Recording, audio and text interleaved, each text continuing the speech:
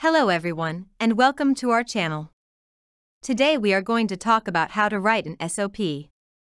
SOP stands for Standard Operating Procedure. There is not a specific way or regulation for SOP writing, but here we will provide a guidance on how to write standard operating procedures or SOPs for the food safety prerequisite programs or other processes.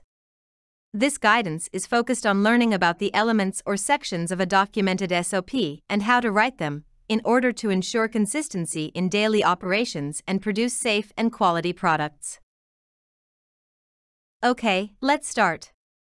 An SOP is a document that describes the how to, the step by step, the activities to complete tasks in accordance with the standards and regulations specific to each industry. An SOP can be a procedure, a policy, or a work instruction, or any document that describes a set of detailed instructions about how a process works. The benefits of an SOP are multiple but not limited to the following. The SOPs are the foundation of a food safety system and are the foundation to provide trainings and coaching, since they save time when describing the activities to employees. The SOPs make process consistent and provide detailed and specific information for the processes, which makes employees to perform their activities more efficiently and improves performance. The SOPs establish all the requirements for specific tasks. They also help to identify the control points and their limits. The SOPs keep employees accountable because there are documented expectations. SOPs reduce miscommunications and help with resolution of problems. The SOPs support during inspections and audits and ensure compliance with laws and regulations. Note that every business will not have identical SOPs.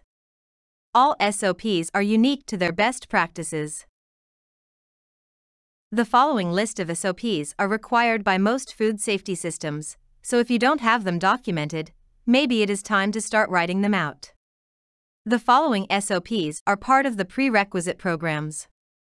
Building Design, Receiving, Storage, and Shipping, Equipment Maintenance, Equipment Calibration, Cleaning and Sanitation for Equipment and the Facility, Water Quality and Supply, Process Flow, Allergen Programs, Product Lot Code Identification, Chemical Storage and Usage. Pest control programs. Onboarding training for new employees. Frequency of retraining and verification. Mock recall procedures. Customer complaint procedures. Now let's start writing an SOP. And for that, we are going to go over each section of this template for better understanding. Note that this template is intended for demonstrative purposes only. The SOP must be formatted in a way that provides all information so that an employee can read and perform the functions of the task both safely and effectively. More elements can be added to the SOP format, or some can be removed as well, depending on the purpose of the document. In the first section, we have the following Company logo. You can choose to use the company name instead. Or you can just omit this section. Document number. This is part of the document control programs, which is a requirement for many food safety system schemes. You can use the nomenclature you prefer. If you don't have a document control program, it's okay. Hopefully, you will grow to that point soon.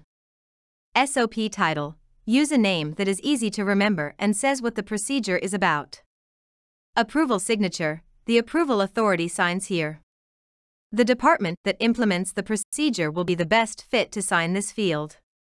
Verification signature. This can be the person that oversees the food safety management system which will verify that the SOP complies with all the requirements, for example, the quality assurance manager.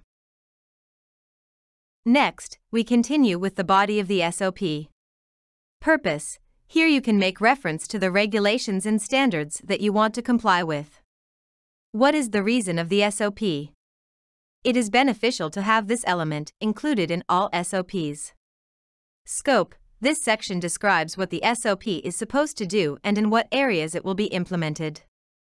Responsibilities In this section goes who has the responsible for carrying out the tasks and the responsible for making sure of the implementation of the SOP. Tools or requirements. Here you can list what the employees need in order to be able to implement the SOP, such as personal protective equipment, buckets, spoons, or thermometers, among others. Procedure This section is where all the tasks to perform will be listed. The most details you provide, the better. Here is listed the step by step on how to implement the SOP, the monitoring activities and verification steps to ensure the SOP is implemented as you said it would be done, and the corrective actions if not implemented properly. The procedure describes how the SOP will be documented or monitored. If possible, make it visual. Add bullet points and images to catch the reader's attention and make it easy to digest. Use flowcharts, diagrams, or computer screenshots to help break up long sections of text and create a better user experience for the reader. Related documents. Here you will list the related supporting documents, such as forms and checklists, or other SOPs. For example, if this is a cleaning procedure, you can make reference to the approved chemicals list and to the cleaning verification checklist. Revision history. This section is where you keep track of all the changes made to the SOP over the time, and it will help to remember why the document was updated and when. Date. Here you enter the date that the SOP was revised. Description. Here you will briefly summarize the updates made. Signature. The person that made the update will need to sign in this field. Now the last section. Origin date. This would be the date that the document was first created. This date will never change when you make revisions to the SOP. Supersede date Every time there is a new version of the SOP, the previous version date will be added here.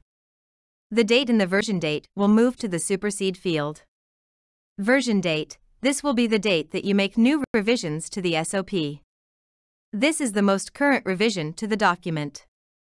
All previous versions will need to be filed and take out from circulation.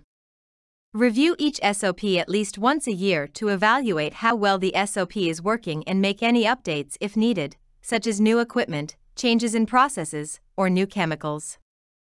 SOPs can also be reviewed during internal audits when auditing the plant's programs and procedures as required by the Food Safety Management System. We hope that this have gave you an idea of what an SOP is and how to write one. That will be it for today. Thank you. And if you enjoyed our video, please give us a like and subscribe to our channel to check for the upcoming videos. We wish you the best of success.